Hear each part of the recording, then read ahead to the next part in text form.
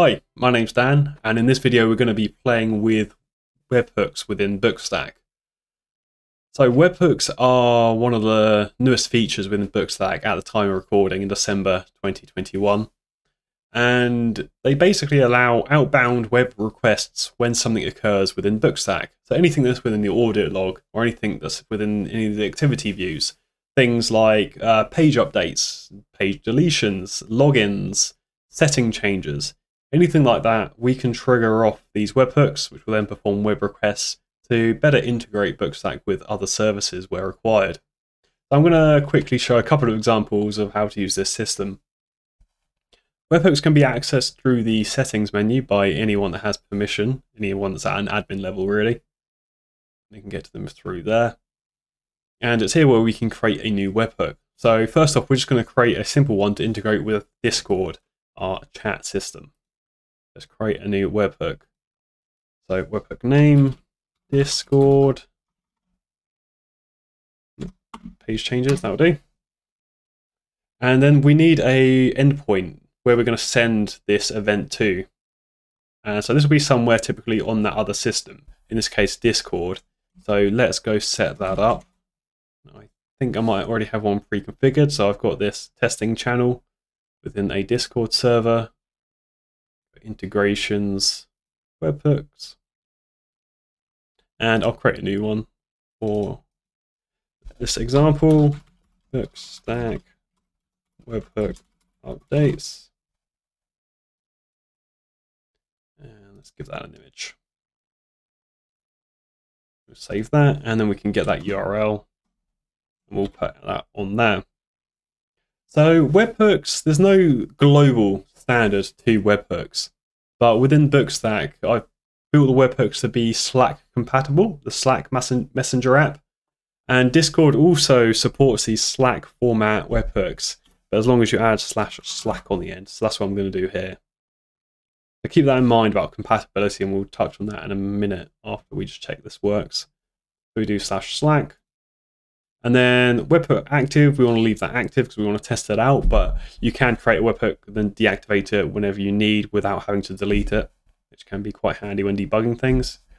And then we choose the events that we want to trigger this webhook upon. So you can choose all system events, so trigger on anything and send that across. Otherwise, you can be specific in exactly what you want to trigger on. So we're going to do page events anything to do with pages, all five of these events. And then keep this orange message into account when you're creating a webhook.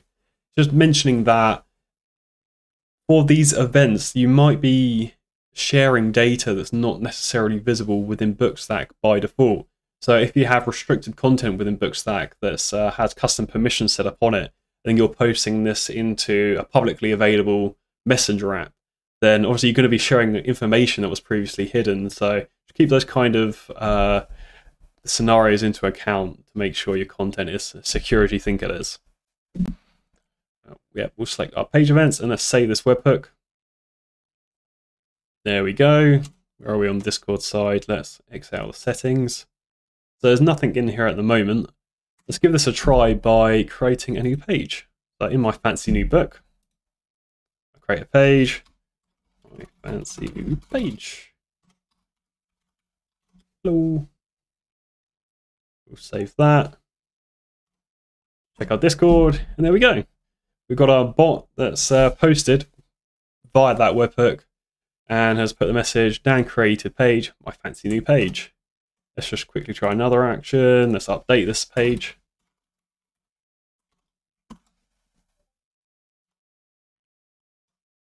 All right, now I, Dan Brown, has updated page, my fancy new page. So where does this message actually come from? This message, if we go back to our webhook, and then we scroll right to the bottom, you see this webhook format example. And this is shown whenever you're creating or editing a webhook. And this is, again, shows an example of uh, what data is sent to that external service, in this case Discord, when the any of those events occur. So the text that Discord was using was this text property. And that's what's on the webhook to make it Slack compatible, as I mentioned earlier. So Discord is then seeing this properties here, it's taking that text and then using that directly as the message to post into that chat channel. But of course, there's way more detail on here um, that you could use to customize that, including the, the link of the page that I updated and the full details, what book it's in, um, if it's a draft or not, if it's a template. So you could get more complex, but you're going to have to do that outside Discord, which you can do via various different applications that are out there. So Zapier is quite a common one where you could receive this webhook on Zapier, alter using some of these properties, and then create a new message that you then post into Discord. So Zapier acts as a bit of a, a middle middleware solution. As an alternative open source offering, I've recently played with N8N. It's on n8n.io, and this seems quite a similar. Actually, it seemed to work better than Zapier in my testing. Um, but yeah, great alternative if you want something that's self-hosting uh, that you're not going to have to pay for at least quite a lot in the long run. Although they do um, they do have a cloud offering as well. But yeah, that seems like a really good alternative that might be worth exploring. So that's an example of a quite a simple integration. Um, let's go for for a slightly different example. So I'm going to create a new webhook that alerts me whenever there's been a change to the settings within Bookstack.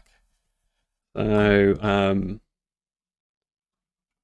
settings change. And it's going to alert me via the smart home items that I have within within my flat.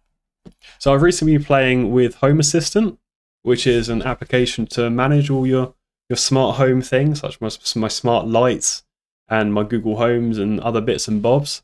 I found it really great product actually. It's a, it's a open source system, and it means that I can manage this from within my home without having to rely on uh, third party cloud giants like Google or Amazon. Yeah, and it's been really good, and you can do some automations through this. Um, including webhooks based. So I've created a webhook already, which I'll add into my webhook endpoint. That just points to my local Home Assistant instance. And then within this, I'm going to select Settings Update event. All right, that's my webhook created. Let's give this a test. Let's let's allow public access and see what happens. Book stack settings have been changed by Dan Brown. That's going to flash for quite a while, actually. Um, so yeah, it flashes my lights. It announces on my uh, Google Home speaker that I've got that someone's updated, and it said my name as well, um, taken from my username. If I go to my uh, into my automation with an Home Assistant to show you what this looks like,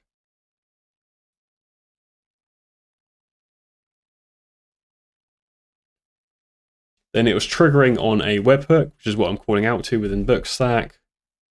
And then it's flashing my office ceiling light. And then it's uh, going up to, it's doing a text to speech service to then play on my office speaker uh, with the message Bookstack settings have been changed by. And then using that data that Bookstack's passed, I'm bringing that in.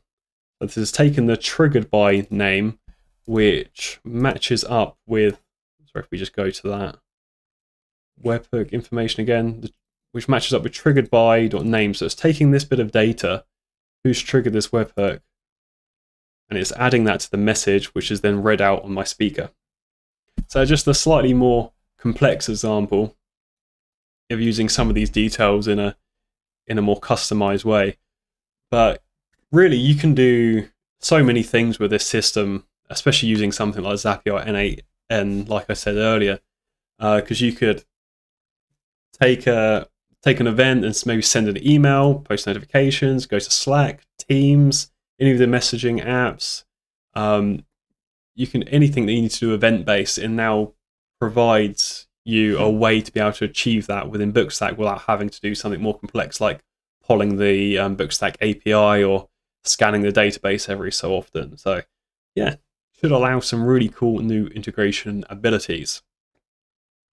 Now, there's a couple of things to consider uh, when using this system in regards to performance, especially. So, these webhooks, they are calling out web requests when you're doing these actions within Bookstack, which can slow the system down. So when you update a page, it's got to then make this request, call that external web URL, then wait for a response, at least for a certain amount of time. Um, and all this can delay the, the user experience, it can delay the the user saving that page from getting a response from Bookstack and continuing on with what they want to do. So to get around this, uh, we do have a asynchronous uh, job system within Bookstack, which can be found in our documentation. Within our documentation, an email and webhooks page, and then it's towards the bottom of here, async action handling, and this guides you onto how to set up kind of this background worker to deal with all these jobs, such as um, sending off webhook events and also it does uh, emails within the system so they don't take a while to to run when you're um, when you're doing anything that emits an email within Bookstack. So it is a bit of it takes a little bit of setup, and you don't need to do it to use start using webhooks. But just maybe once you've got a lot of web webhooks and you're feeling them slow down the system, you can look to use this uh, as a way to speed things up again. So when you're setting up webhooks, just a, a, useful tip is if you want to see the exact data emitted by webhooks or make sure they're make sure they're working, then it can be quite useful um, for debugging to have a a way to see what Bookstack's sending out. So you can do that via requestbin.com. So you can come here and you can create a public bin, and it gives you an endpoint that you can then copy into your Bookstack instance. So if we create a new webhook, we'll just go all system events, call it debug webhook.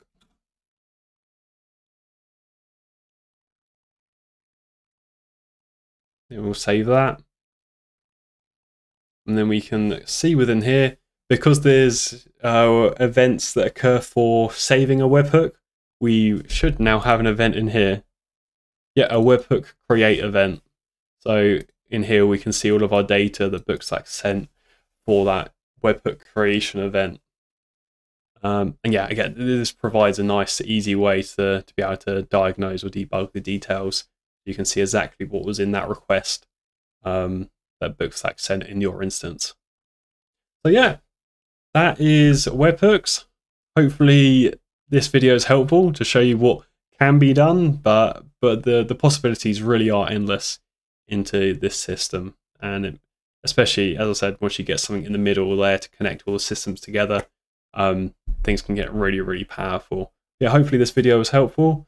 Let me know if there's any further information you'd like on this. Otherwise, I'll put any links to any of the things that we've seen in the description below. But other than that, have a great day.